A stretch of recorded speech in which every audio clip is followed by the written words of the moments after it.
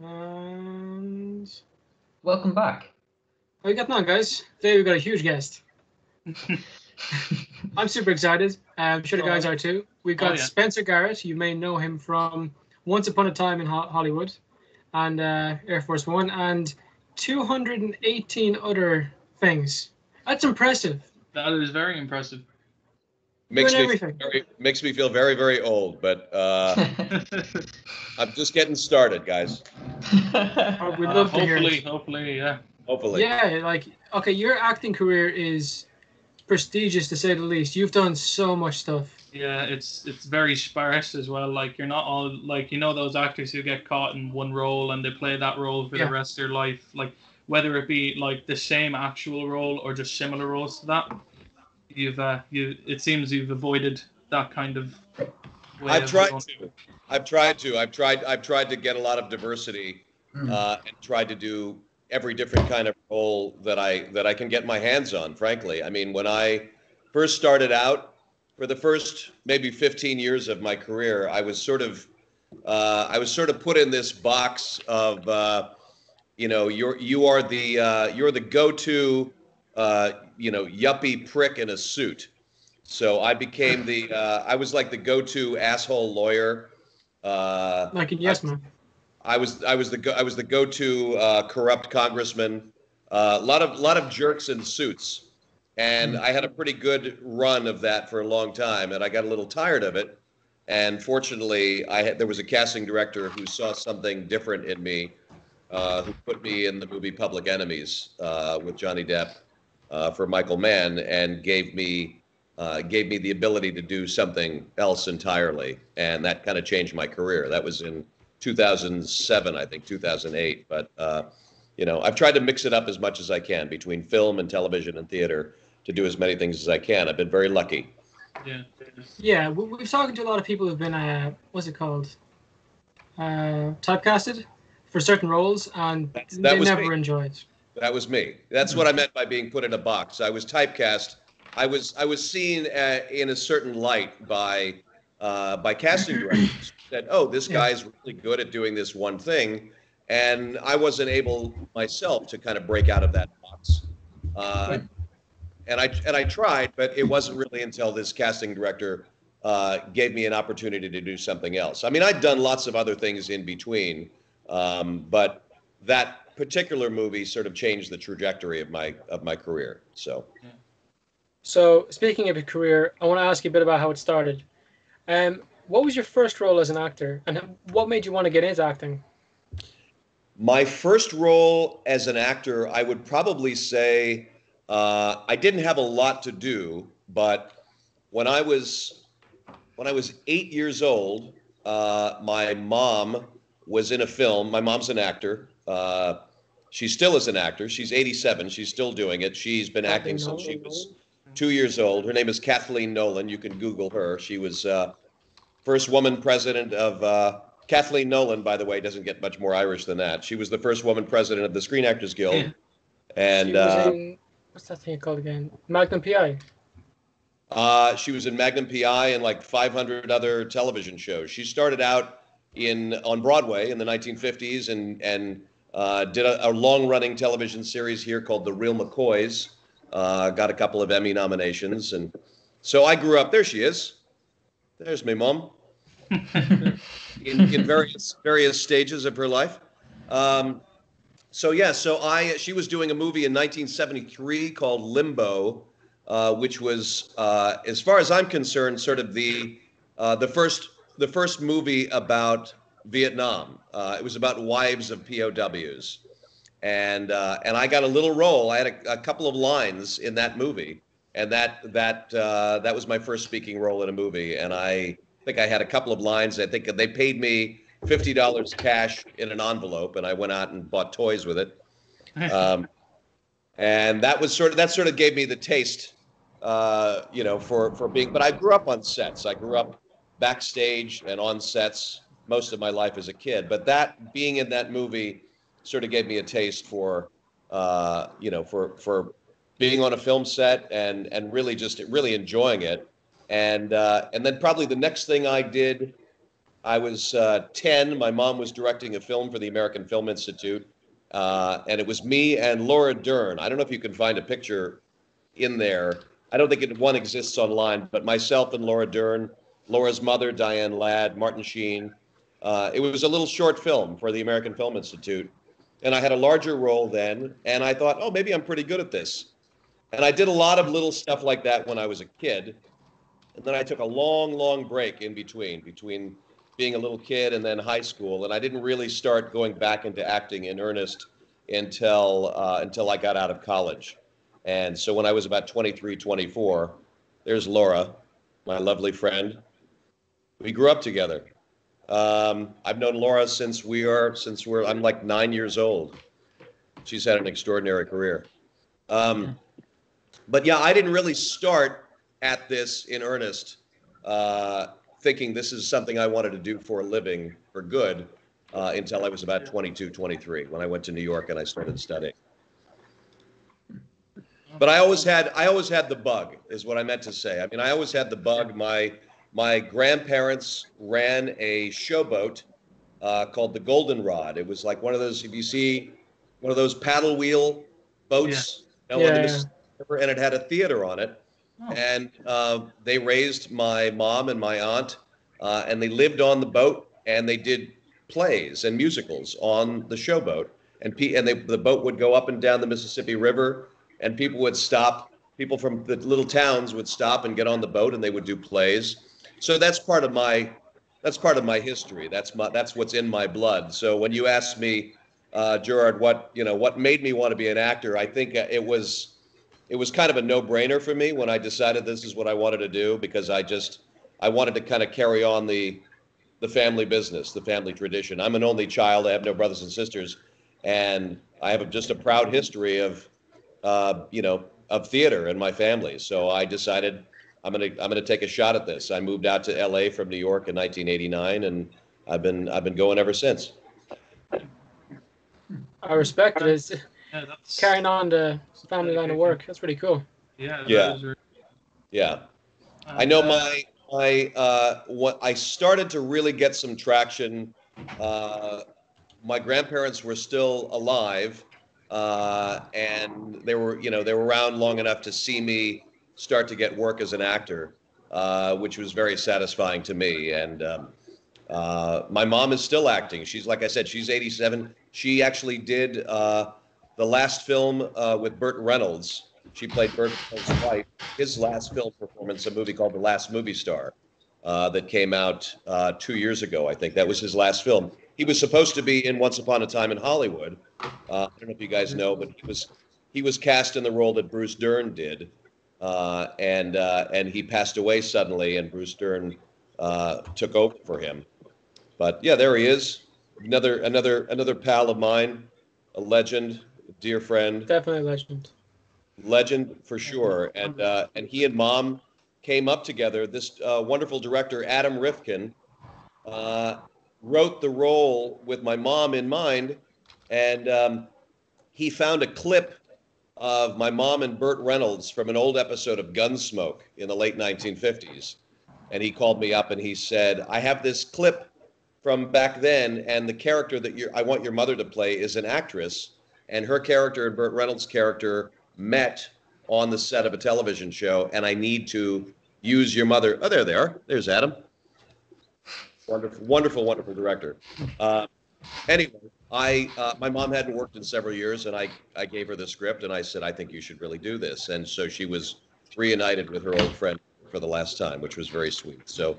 Um, I'm, I'm blessed to have a lot of stories like that in my life. So, uh, mom is mom is still active and still working, and um, you know she's uh, she's happy every time every time her son gets another gig because it keeps me off the streets. Yeah. That's sure that picture in the in my upper left with her in the red coat uh, and the red hair. Uh, that is at the premiere at the Tribeca Film Festival of The Last Movie Star. Oh wow, There she is. Yeah, that's two years ago. Oh, Wow. that's cool. She looks Irish, doesn't she? Oh yeah, Very she's Irish. Hundred percent. She looks like she's about to beat the shit out of me with a wooden spoon for not eating my veg. That, that's a very Irish thing. She's definitely, Now, what, what I do normally, or what we do normally when there's an actor, I go through basically one by one with their acting credits.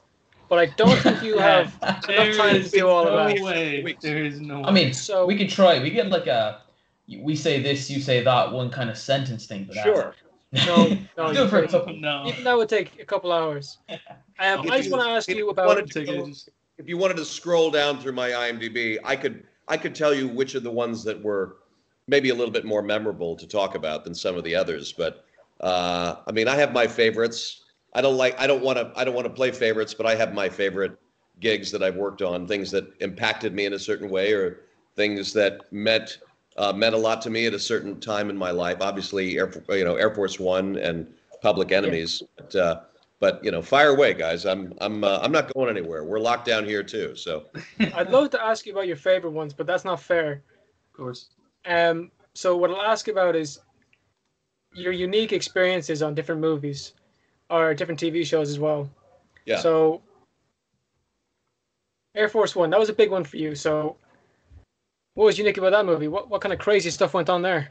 Harrison Ford, like.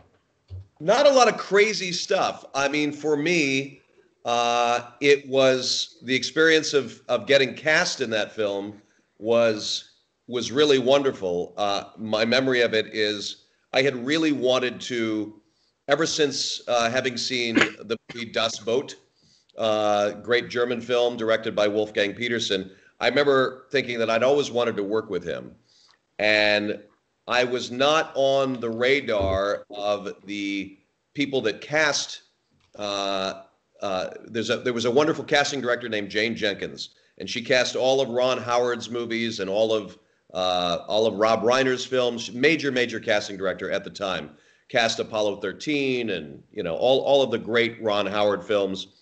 Uh, and they were the go-to casting directors. They were the they were the people that could really kick you into the next level. And I'd always wanted to get into that office, and I never could. And finally, I did, and I went and I had an interview with them.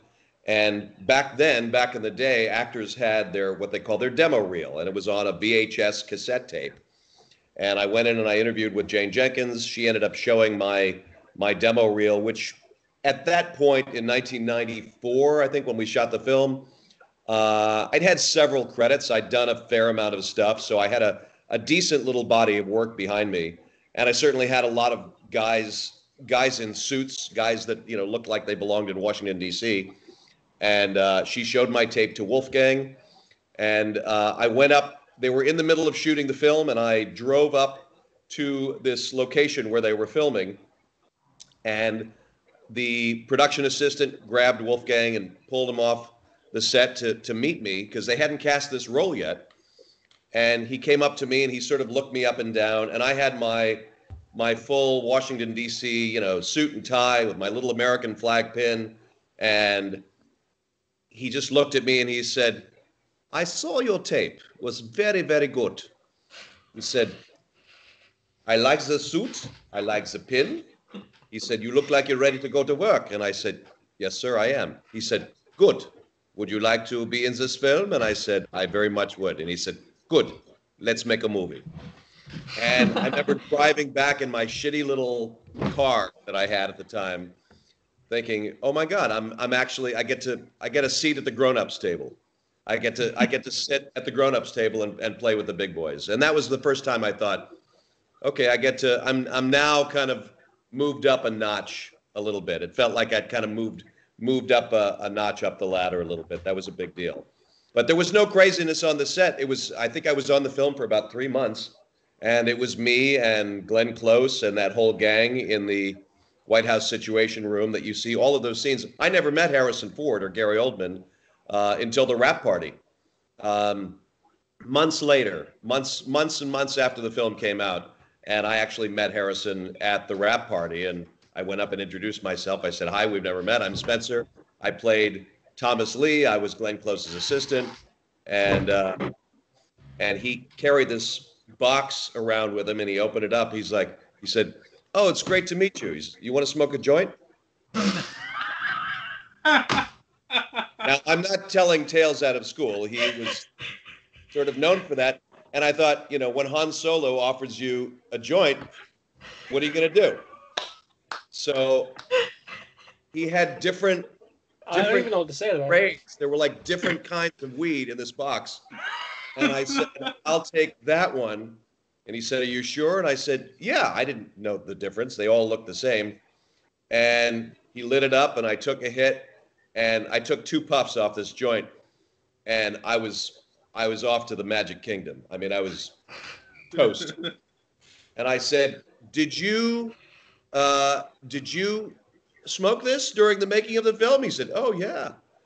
Um, so anyway, that's probably the craziest thing that happened to me within connection with that movie. But uh, uh, yeah, I get getting high with Harrison Ford was a uh, a seminal experience. Bro, you just ruined Indiana Jones for me, man. I would've thought that guy was like- Nah.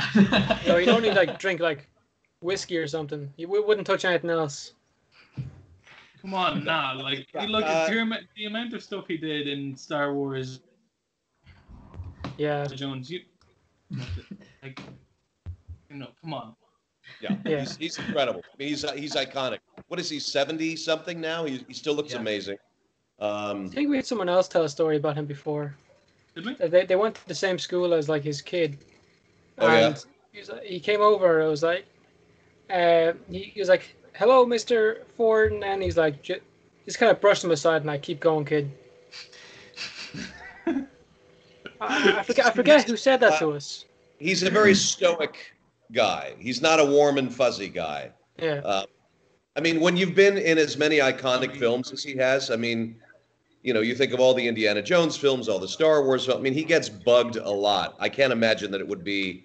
It must be a hell of a lot of fun to be him, uh, and and also not, you know, because I mean, I, I look at, uh, I follow Mark Hamill on Twitter, for example, and the amount of you know crap that he gets from Star Wars fans all these years later is ridiculous. I mean, He, yeah. He Yeah. does seem like a warm and fuzzy guy, though, even with all the stuff he gets. Oh god, yeah. who Mark Hamill? I mean, I know Yeah. Yeah. for a fact that he, He does. disagrees with how That- they yes. I'm yeah. not mad, but he he seems like a terrific person. I'd love to meet Mark He Hamill. was, uh, when was it last year that he was in the uh, St. Patrick's Day parade here? I didn't know he was in the parade here. Yeah, he was in he was in like a vintage car. He was just sitting in the back of it, and everyone's Really? like, "Holy shit, it's Mark Hamill!" oh well, that's cool. hold on, I, I think yeah, I'm like I'm about ninety percent sure. Yeah, all right, yeah, hold on.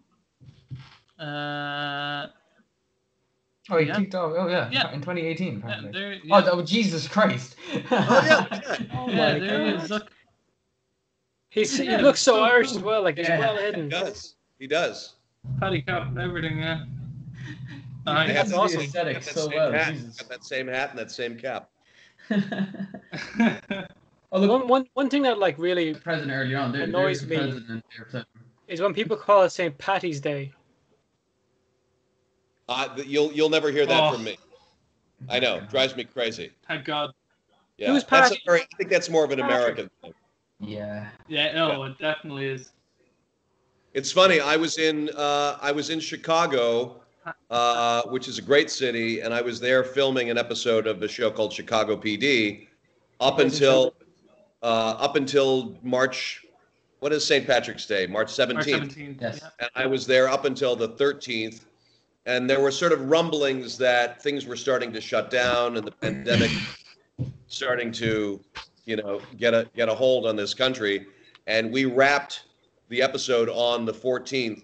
I was on a plane home on the 15th back to Los Angeles, and everything shut down here that weekend of like the 16th.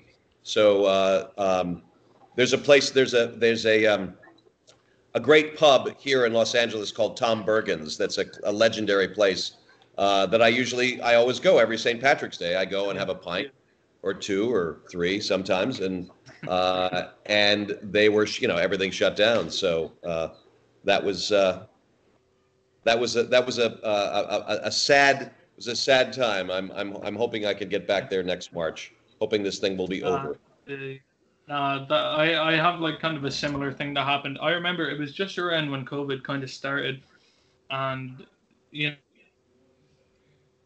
to come up and then I was still in Australia, and then I got back. I think the twelfth, of, and then the week after that, everything started to shut down. And then uh, I my birthday is actually two days after St. Patrick's Day, Oh yeah. and uh, yeah, and I was planning on having a party for it, and then I had to cancel that, and then things started to look up here again uh, in the in the last few weeks, and I was meant to have my party again on Saturday, this Saturday coming, and we went back into lockdown. So this this COVID thing doesn't care what plans you Nope. have, it's gonna shut down everything. Doesn't care if you have fucking rights, by the way. That's right. Yeah. Sorry. You're right. I said COVID doesn't care if you have rights, doesn't care if you're Oh, an American citizen, doesn't care if by the second, first, third if you're a amendment, citizen. wear the goddamn mask. Yeah, wear the mask. Yeah, it's true. This is, by the way, I just happened to. This is my just sitting next to me on my computer. I've got I've got a quite a collection here. Oh, nice. Fair play. Models Stripes, they suit you.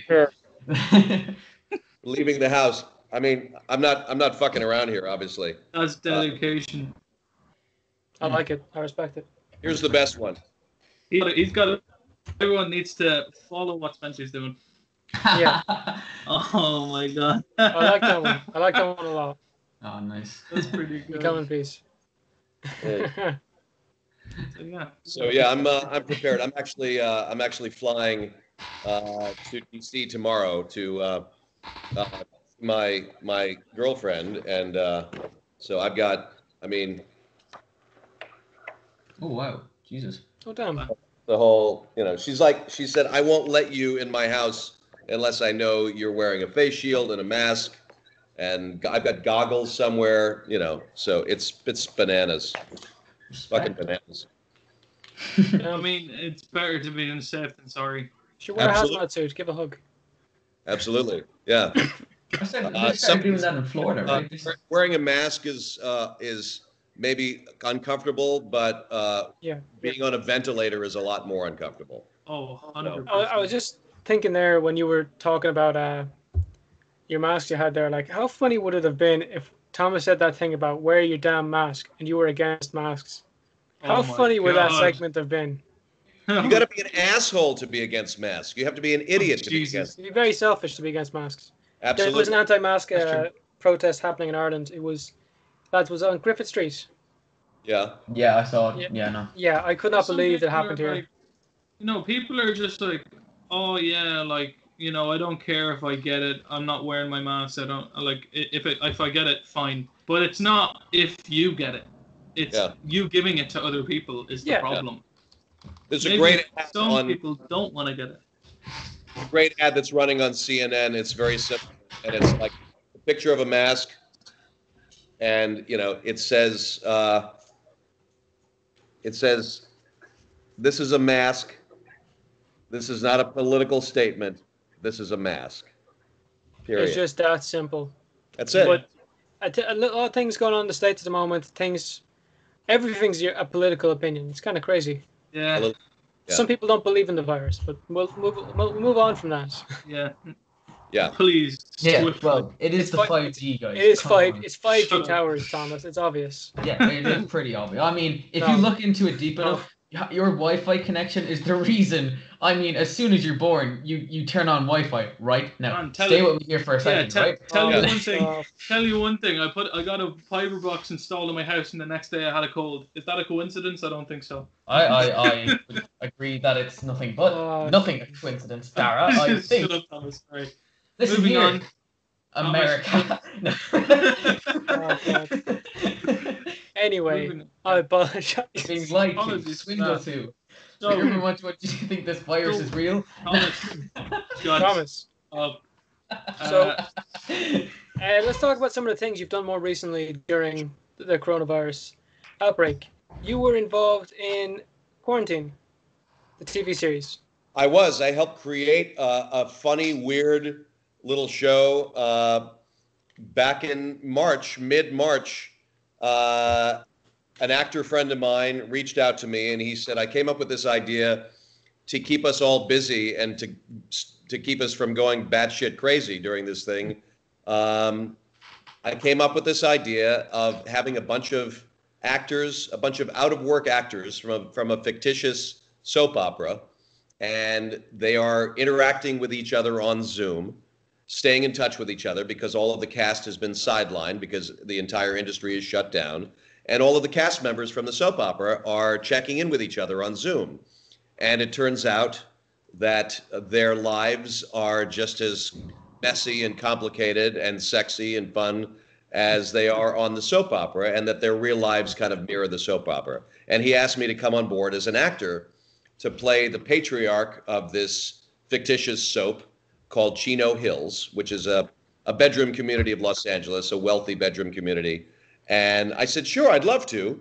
Um, I'm a producer, I produce several things. And I said, look, let me come on board as a producer and let me help shape it and come up with the storylines and let me help you find some of the actors. And so I did. And before I knew it, within days, we had a, an, incredible cast of uh, very, very diverse group of actors from all ages uh, to play these soap opera characters. And we came up with this storyline. We thought we would do maybe five, ten episodes because none of us back in March thought that this thing was going to go on as long as it did. So we thought, okay, we'll do this until as long as the pandemic lasts. Little did we know, you know, here we here we are six months later. Um, but we started shooting this show called Quarantine, a Zoom story, and we had two, uh, we had actually three directors in their homes with their computers filming the other actors in their homes on Zoom, and we would film the scenes. And uh, Jerry Ying, who is my actor friend, who uh, came up with this idea uh, to he would guide the actors. We call it sort of guided improv and they would guide the actors through the scenes because you can't edit on Zoom. So yeah. we would do 25, 30 takes of each scene until he felt like we got it right. And um, the whole idea, the whole premise behind it was to raise money.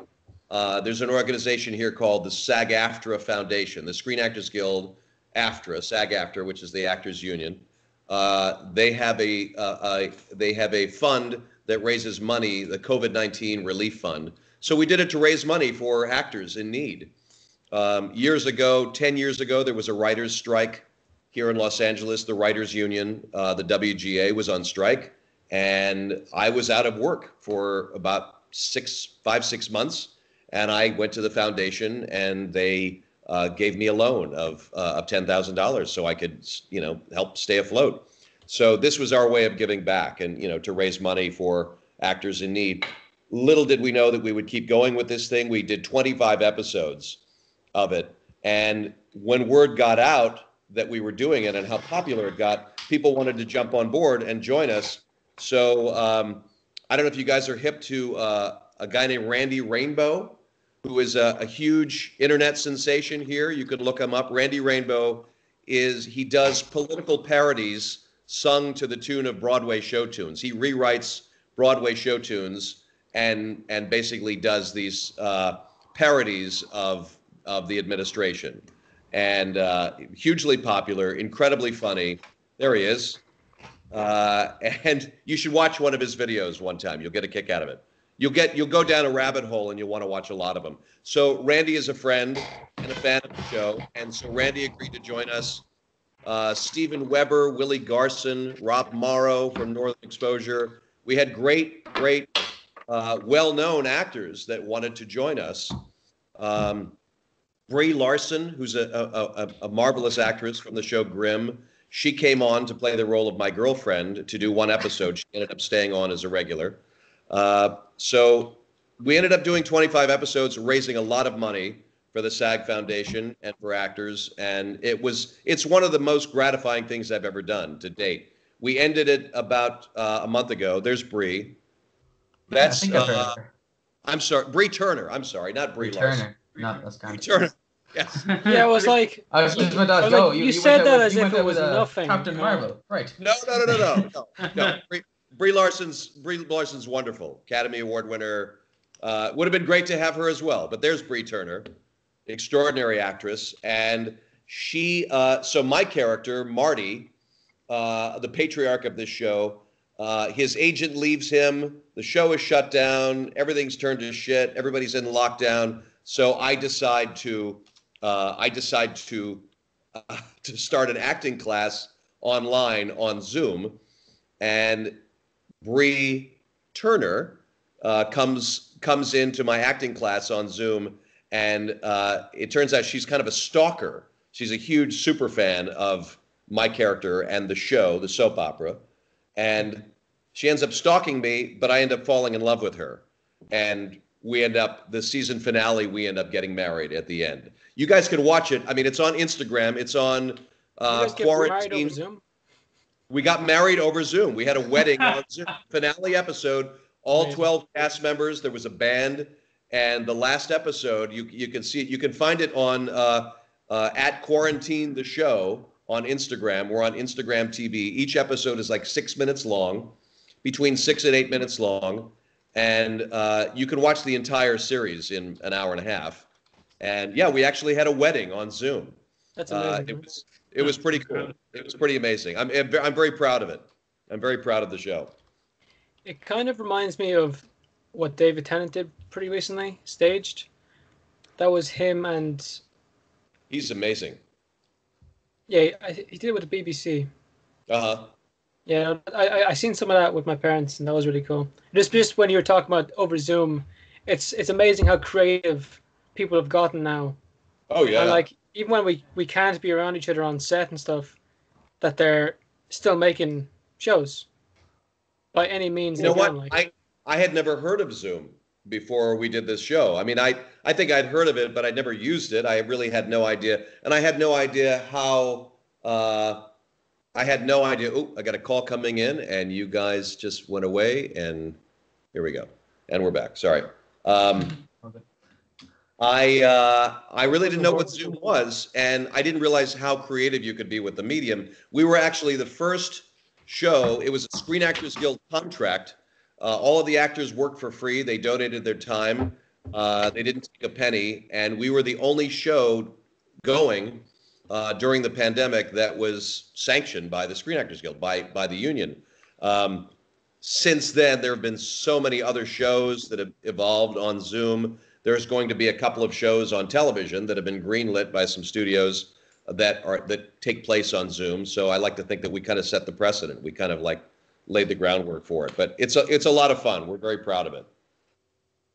It's very different. Like, like. I mean, I'm gonna check it out after this. Like, Check it out. Yeah, go on. Yeah, go on. Uh, go on. Quarant- it quarantine the show on IGTV, and go scroll to the bottom, and you can watch the pilot episode, and you can also see how the show evolved. Like we got better and better and better at what we were doing over the course of the weeks and months.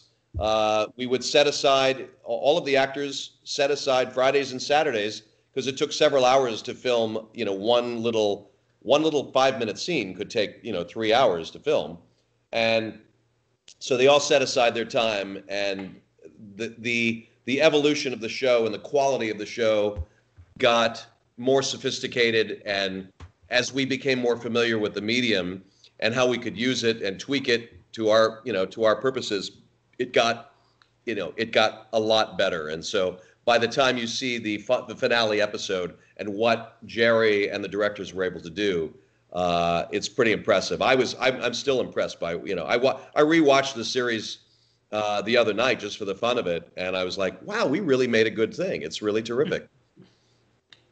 Yeah, that's that's very.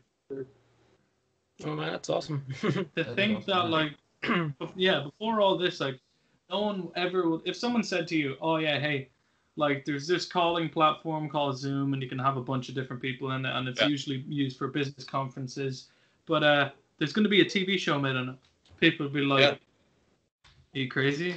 but Yeah. Darragh, the same thing could be said with this. We're doing a Yeah, podcast over. Skype.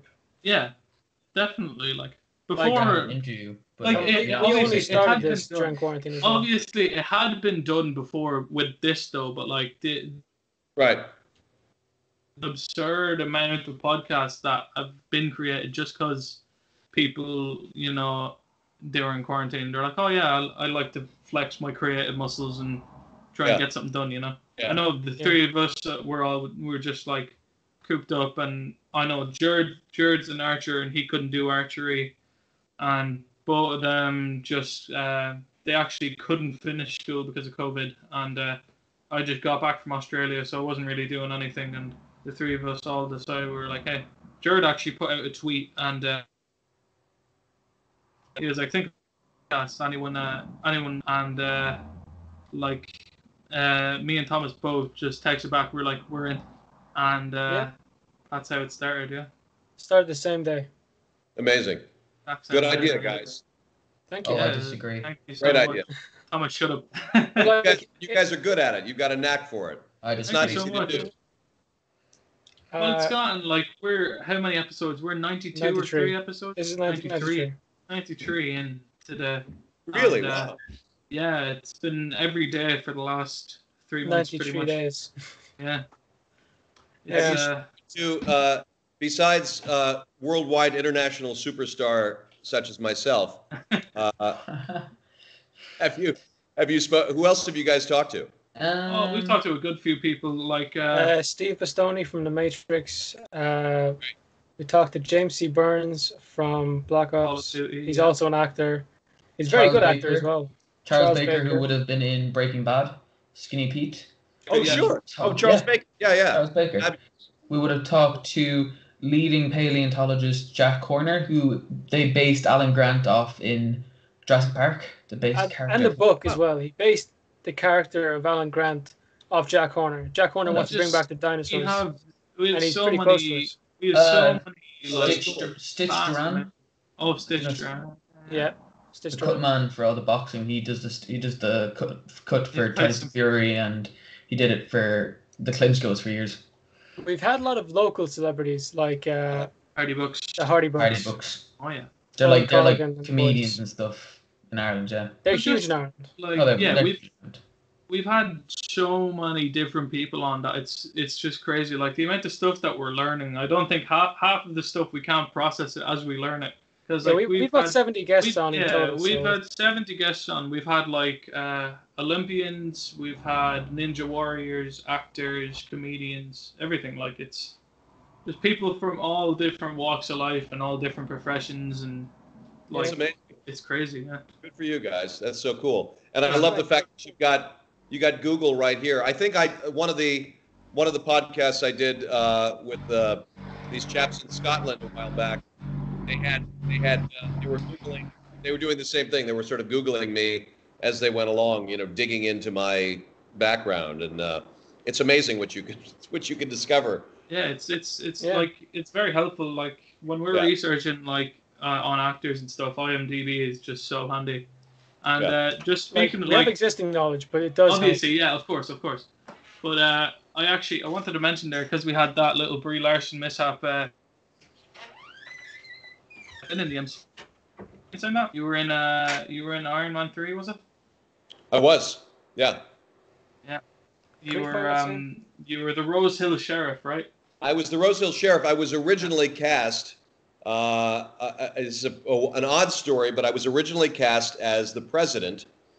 Oh, Um, Oh no way. yeah, I got cast as the president, and at the last minute, and I was ready to go. My bags were packed. I was heading to Wilmington, North Carolina, and uh, the director Shane Black and and Robert Downey, who's an old pal, and they'd all signed off on me, and I was ready to go. And then uh, one of the big wigs at Marvel decided that he thought I was too baby faced. I was too young looking to play the sheriff.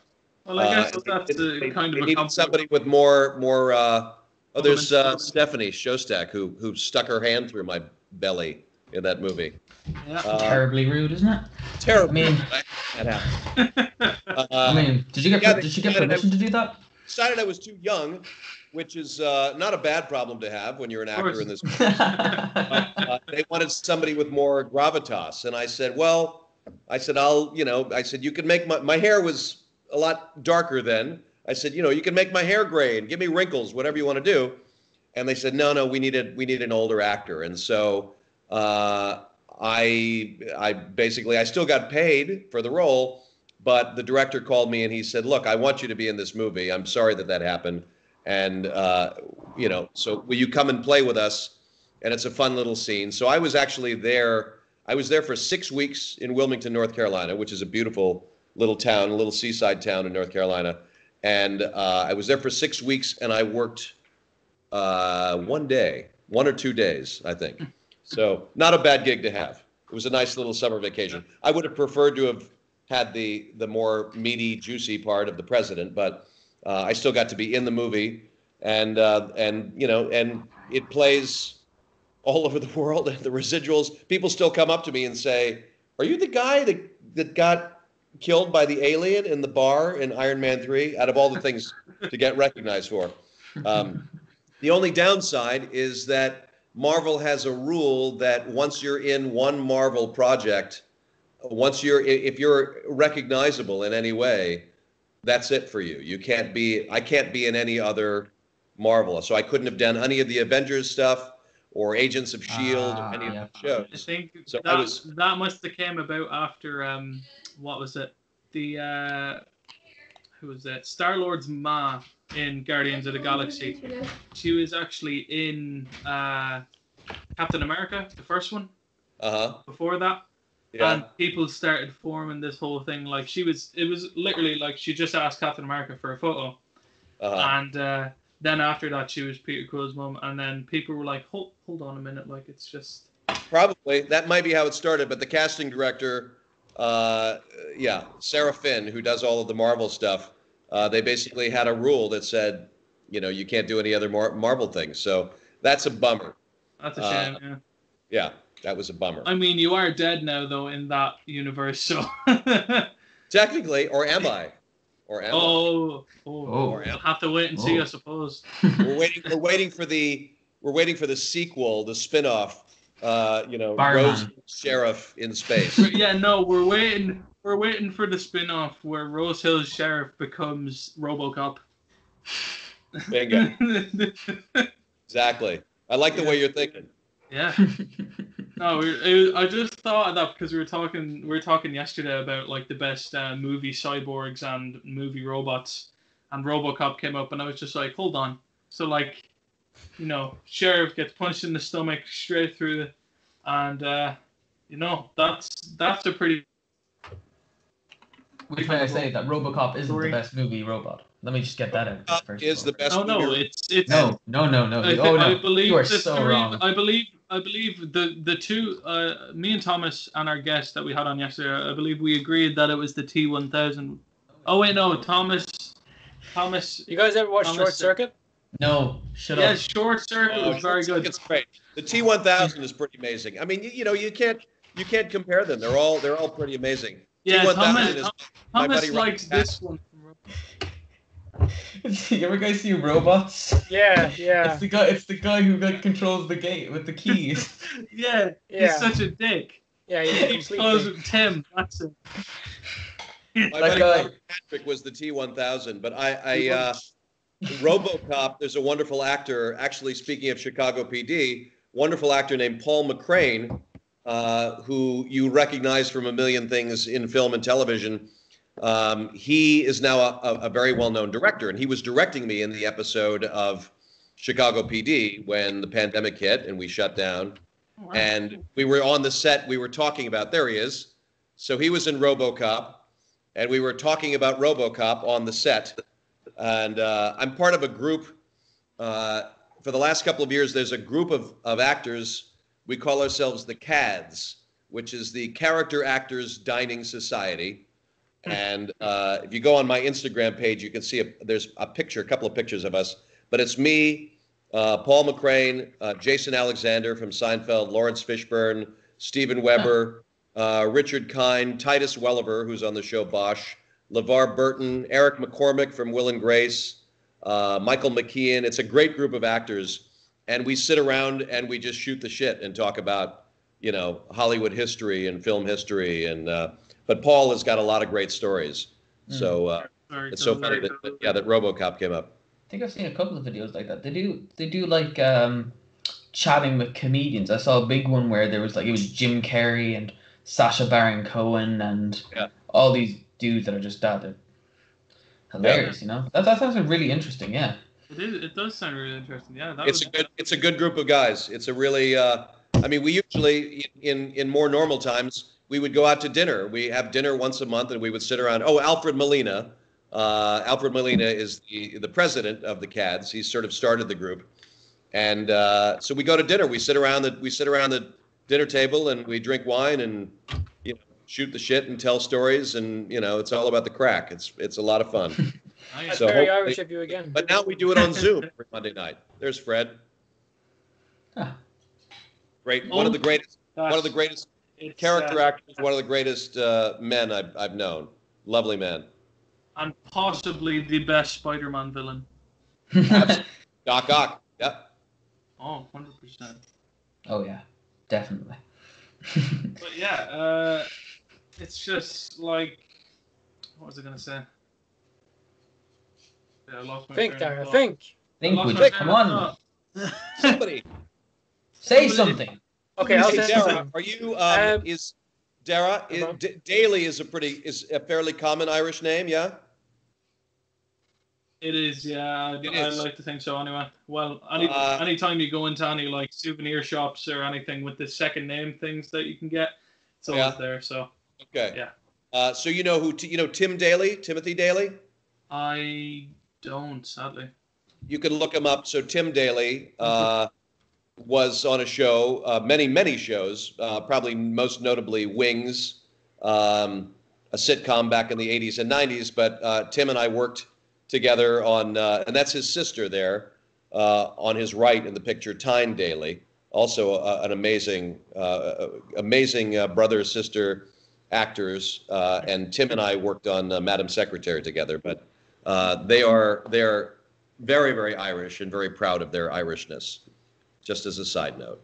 So Oh, you're probably related, you're probably related to them somehow. I mean, that would be pretty cool. I mean, they Yeah. got the same head shape. uh, what was I gonna say? Um, I don't know if we talked all that much about your connection with Ireland. You were saying to the lads earlier that you often come here. Um, are you? Do you have Irish heritage, or what's the crack? Well, my uh, my grandmother's name was uh, was Kennedy. Her name was Clara Kennedy. Uh, my mom's name is Nolan, and Very she's named after my great great. So Nolan Kennedy. Uh, I think there's some there's some O'Toole in my lineage, but uh, my great great grandmother came over from Ireland in the 1880s. Um, my grandparents uh, were were you know here in the states, but uh, yeah, but Kennedy, O'Toole. Uh, my great great aunt was was Nolan, and my mother took her name as her stage name, so she became Kathleen Nolan. And uh, so yeah, and I I spent uh, as I was telling Darragh when we we started out, uh, I spent probably 20 summers every summer for about two weeks. We had a great great American friends here, uh, an extraordinary photographer named Bob Willoughby, uh, who you can also look up. Uh, one of the greatest uh, movie still photographers of all time. He shot every great film in the 50s through the through the, through the 80s. He and his family uh, in the 1970s during Watergate and Vietnam, they decided to pack up their family and move away to move out of the states, and they found a castle that was about to be torn down and turned into a hotel. Uh, in uh, that's all of Bob's work. That's him on the on the upper left with the cameras around his neck. But he shot every great star from James Dean to Billie Holiday to Audrey Hepburn. Um, so Bob and his wife and four kids they moved and they bought this castle in Kilbrittain, uh, which is in County Cork, uh, just south of uh, Kinsale.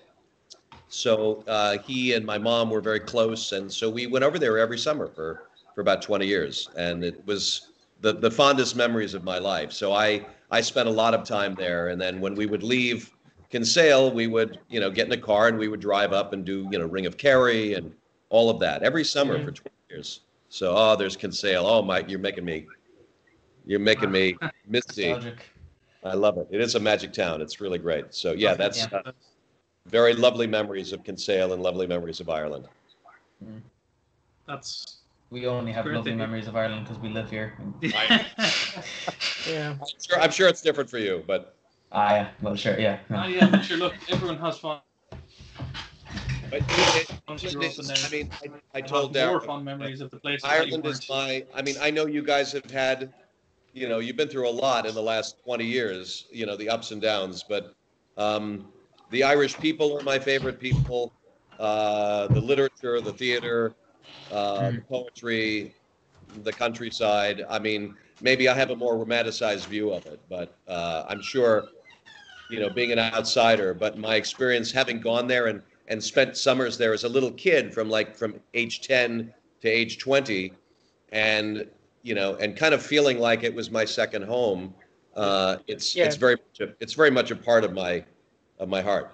That's a very unique feeling some people have.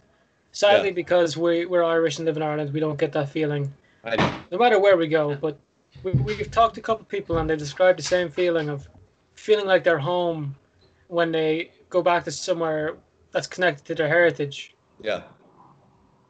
Yeah. Lucky. You're very lucky.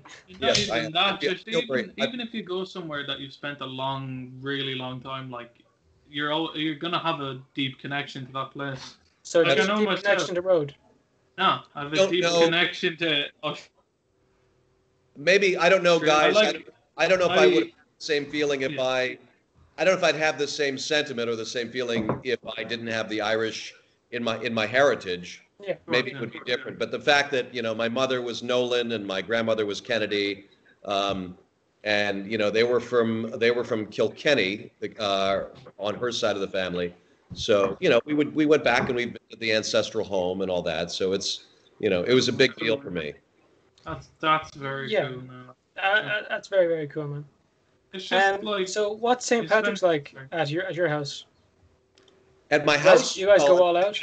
this year this year it didn't exist but uh, this is my um, i spent a lot of time i lived in new york city for 20 years and there's a very famous bar called pj clarke's which has uh, been around in manhattan i think maybe 100 years it's a classic new york bar and that was my when i was in new york city it was two blocks from my apartment so everybody would congregate on uh, you know in, in pj clarke's Yeah. um, it's a classic old school New York saloon, uh, and you know with the best jukebox in New York City. And so I, my memories of of St. Patrick's Day were you know going to PJ Clarke's, and you know out here it's different. It's difficult uh, because everybody you have to drive to get around in Los Angeles. So it's a little bit you know it's it's a little bit tricky now that now that we have Uber.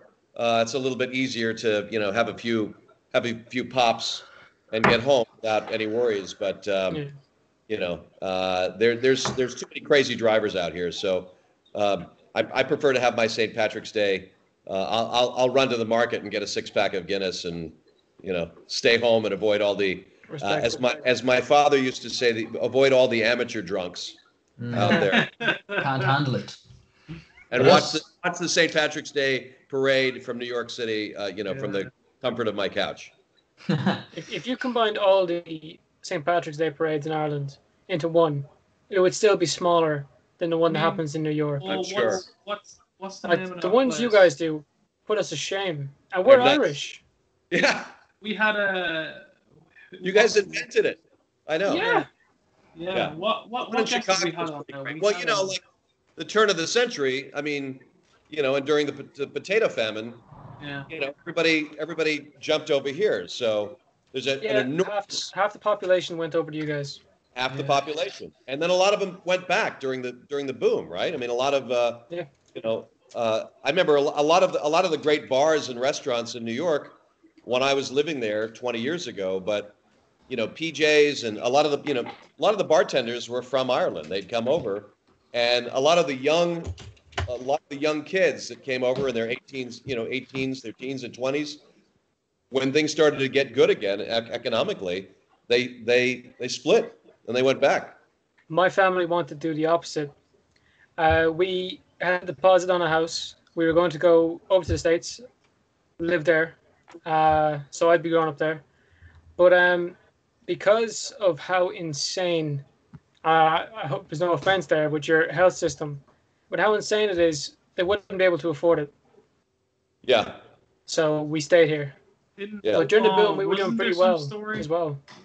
Sorry, no, wasn't wasn't there some story uh, a few months back about uh, an old man who got COVID and he stayed in the hospital for like a month or something, and his bill, Yeah. I believe, was like two point six million or something. I I remember, like yeah, I remember reading that. that that guy is in a lot of bother right now, I'd say. Yeah, poor Unless guy, he, unless he set up a GoFundMe. and he was like se- he was like 70 and like you know he was he suffered with covid and then they were Mm. still like all right pay up Yeah. Now I understand it has to be that way, to an extent.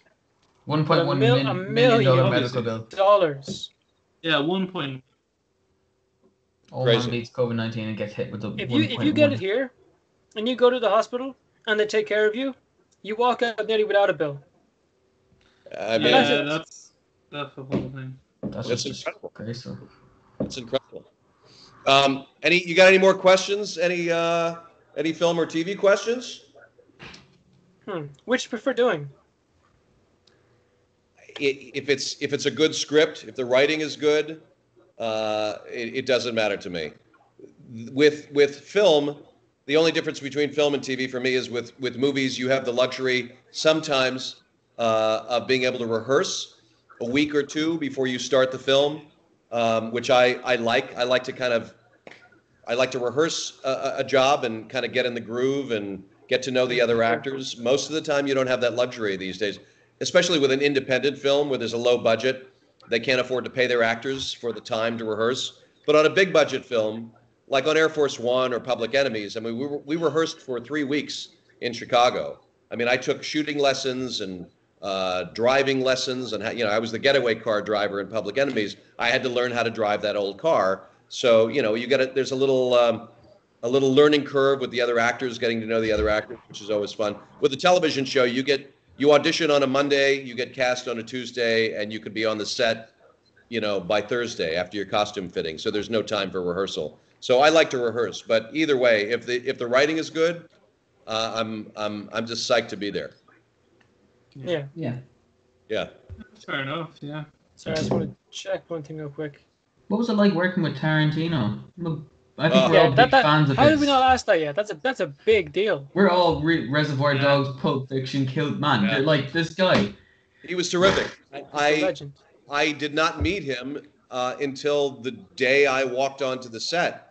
I auditioned, and I think I found out seven or eight months later. I auditioned for that scene that I have in the film, and I walked out of the audition room feeling like I I, I did a really nice job. Yeah. and and I thought I think I'm probably going to get this, but then I didn't hear anything for about seven or eight months, and I was on my way to New York to do a play, and I called my manager and I said, "Have we heard anything about that Tarantino film yet? Can you call again and see if I'm still in the running?"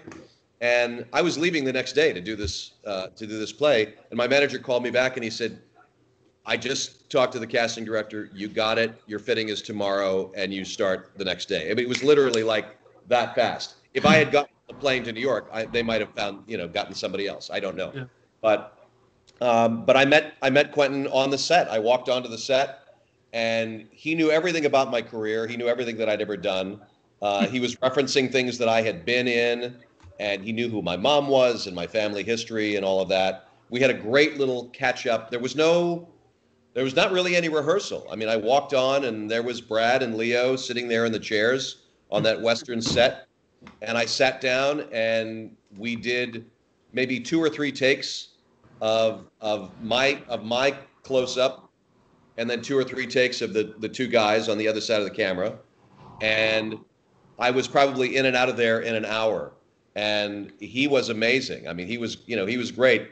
He said, uh, do one as written and then do one where you can just riff and and you know add to the script make it up improvise so i did so i did one i did one take as written and one take where i sort of added some dialogue uh, at the end i put on that little tag at the end um, he said this thing this needs a this needs an ending. It needs a button. So see if you can come up with something. And i just did on the fly. So i did that whole thing at the end of the scene where i say you know this is allen kincade signing off from hollywood.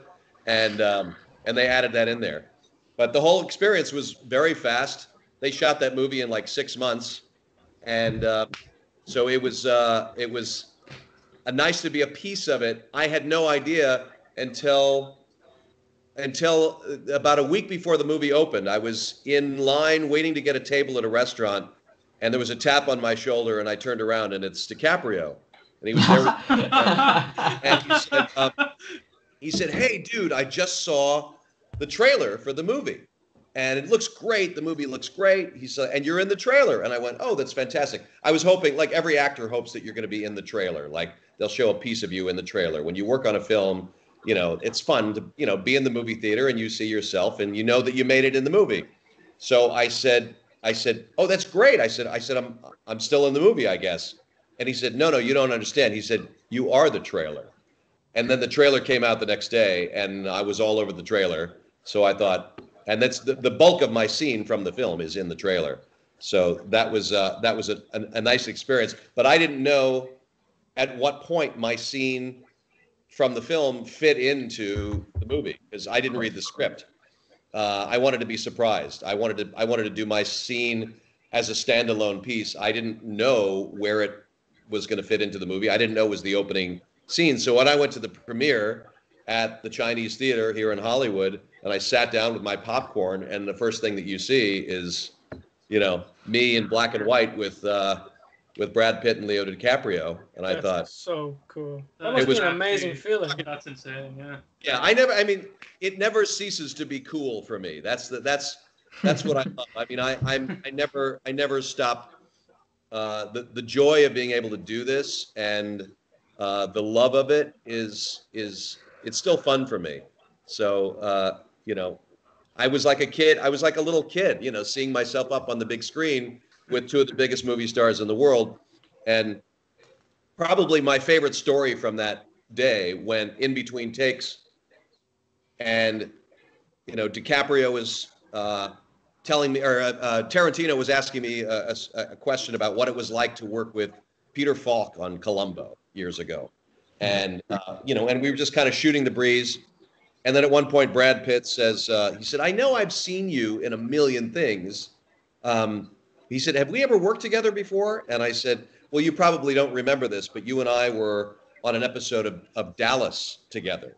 Dallas was an old nighttime soap opera in the states in you know the 1980s. It was a big big deal, and so he's like, because Brad Pitt as a 19 year old kid, I think, did the last three episodes of Dallas.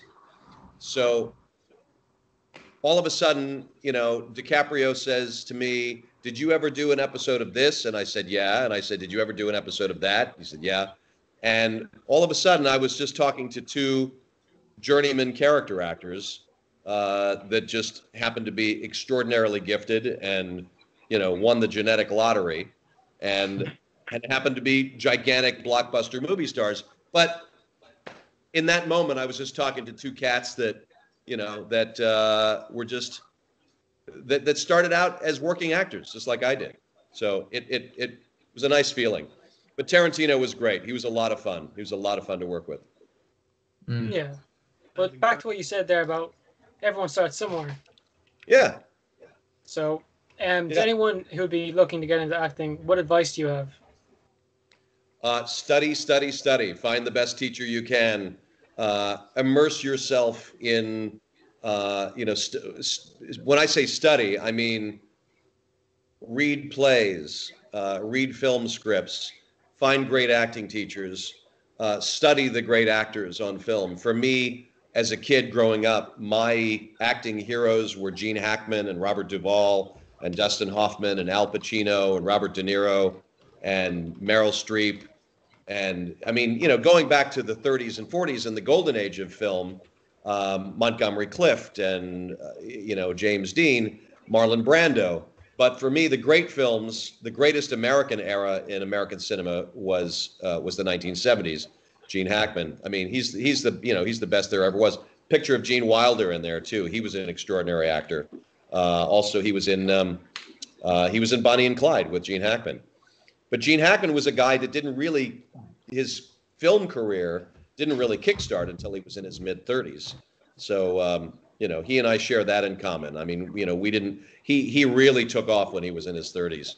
But that's my advice to any young actor: is you know, is find a great acting teacher, study, do theater, um, and you know, just work your ass off. Don't try to get famous. Don't try to be famous. Do it for the love of the work and for the fun of the work. Um, you know, everybody wants to be famous these days. Uh, it's not about that. For me, it's it's just about doing great work, entertaining, uh, having fun, and sometimes the perks are nice. Sometimes you get to, you know, I've been lucky enough to have done movies in Turkey and Kuala Lumpur, Malaysia, and two movies in Thailand. You get to travel. Uh, that's the perks. But uh, for me, I just love to tell stories. So if you're an if you're if you're an aspiring actor and you love you you you have stories in you that you love to tell, uh, write them, put them up, put them up on stage, make a short film, make a short film with your cell phone. You know, um, I mean, it's it's it's it's so easy to make a movie these days. Do the work, create the work for yourself, and hopefully Yeah, the good fair. stuff will come. Uh, advice. Well, if that wasn't motivational, I don't know what what, what is. Uh, that was just- great, man. Yeah, thank you for that. Uh, just just before we finish up now, I, I have um, two questions to ask actually.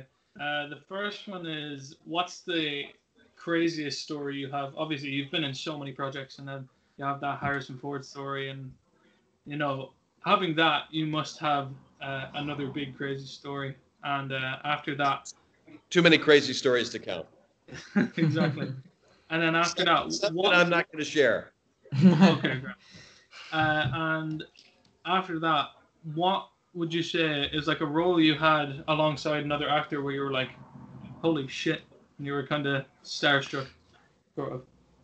Well, here I will I will tell you, I will answer both of those questions in the same answer with the same actor. Uh, Robert Okay. Duvall.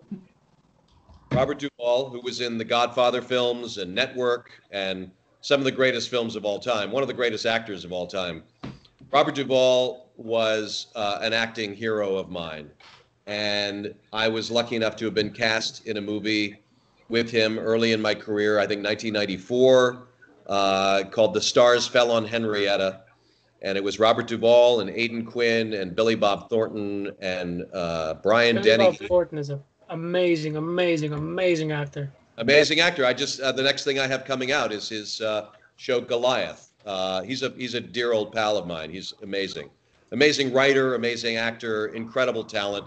Obviously, Sling Blade is what put him on the map as an actor. But uh, you know, he I mean, as as an actor, as a writer, as a director, he's been around for a long time. But uh, incredible guy, incredible Uh, talent. There he is. First seen him on Fargo season one, and Yeah. he played oh Jesus, he terrifying. played danger. That that's what he Oh, played. oh yeah. He embodied danger and He's evil. phenomenal. He's phenomenal, and and and somebody. He's sort of a, uh, in terms of a creative soul and a creative character. Uh, some of that that I that I really uh, look to and, and and respect greatly. He's a, he's he's a, a great musician, a great writer. Uh, it was a gas to be uh, directed by him in Goliath, uh, which is going to be coming out soon. So he's he's amazing. But Billy Bob was in this movie, stars Helen, Fallon Henrietta, as a young actor. He was a young character actor. He hadn't really done much back then. But Duvall and I, uh, I was on this film, and I was probably 29 or something. This is before Air Force One, before things started to really click into gear for me. And uh, I I remember the movie takes place in Texas in the 1930s, and Duvall is an old uh, uh, an oil man, uh, and I remember thinking, how do I make this character interesting? And I remember deciding that I was going to give him uh, Tender Mercies. Wow, look at that! Look at that! Look at that filmography right there. Kill a Mockingbird. Apocalypse Now, Kill 'Em All, Apocalypse Now. Open Range. The I mean, oh, the Jesus, man. Apostle, which he wrote and directed. I mean, Yeah. yeah. yeah, Tender Mercies. Anybody watching, listening, you know, that's a master class right there for for an actor. Um, but I decided to give my character. Uh, he was going to be chewing gum and have a, a very pronounced limp.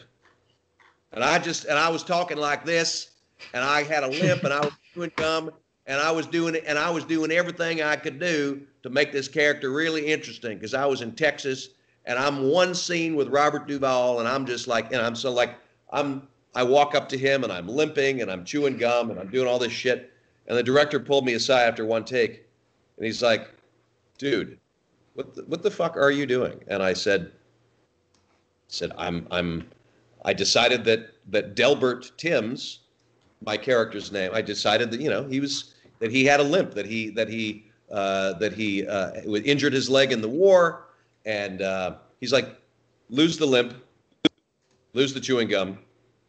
You are trying to be interesting. You're trying too hard to be interesting. Robert Duvall is a master of stillness, and I mean he can he can say 50 words with raising an eyebrow. Mm. And and I'm trying to I was trying to be interesting. I was trying to uh, create a moment for myself on screen. Um, I was trying to make an impression. And I did. I made an impression on the director. He basically said, drop all the shit, drop all of the, you know, the limp and the chewing gum and all that. He said, just say the words. He said, you're trying to be op- you're trying to be interesting opposite one of the most uh, complete and full and still actors there is. He said, you're going to look like an, you're going to look like an asshole if you do all that stuff. And I said, you're right. And at one point, Duvall pulled me aside. He said, he said, it was good advice, right? He said, lose the chewing gum, lose the limp. You're going to be just fine. And I never forgot it.